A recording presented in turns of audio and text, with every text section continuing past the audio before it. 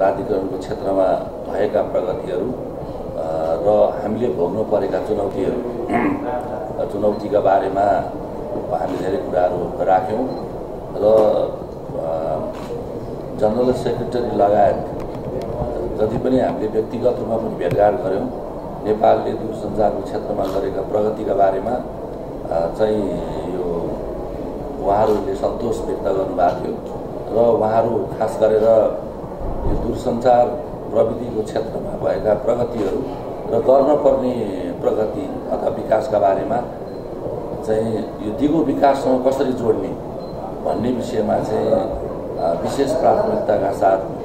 यो छलफल कार्यक्रममा चाहिँ अब आभावले धारणा राख्ने कामहरू भयो र हामीले पनि नेपालको तर्फबाट चाहे त्यो भूकम्पले क्षति गरेको अवस्था होस् चाहे बाढी पहिरोले गरेको अवस्था होस् चाहे भौगोलिक विकृतताको कारणले होस् त्यस्तो समस्या हुँदा हुँदै पनि हामीले दूरसञ्चारको क्षेत्रमा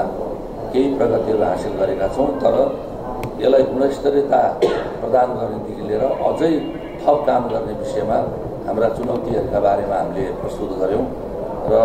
म यहाँ खुसी पनि व्यक्त गर्न चाहन्छु कि नेपालले आफ्ना विषयहरू हामीले गरेका प्रगति र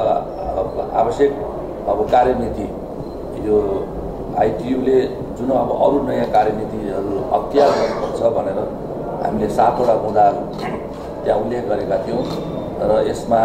धेरै देशबाट प्रशंसा पनि भएको थियो र म अहिले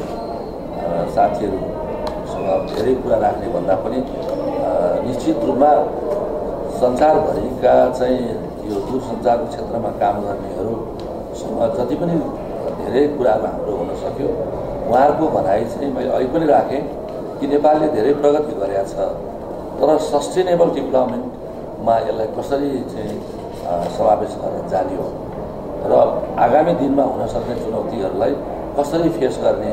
र अहिले आइटीको सेक्टरमा जुन द्रुत गतिको विकास संसारभरि भइरहेको छ र देशको विकासको मेरुदण्डको रूपमा यो देखिएको छ। र आइटीको क्षेत्रमा जसले महत्त्वपूर्ण चाहिँ भूमिका निर्वाह गर्न सकेको छ यो क्षेत्रलाई जसले प्राथमिकताका साथ काम गर्न सकेको छ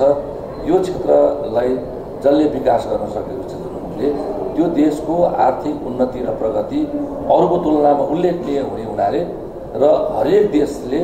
आइटीको क्षेत्रमा जो सफल छ उसको नेसनल जिडिपी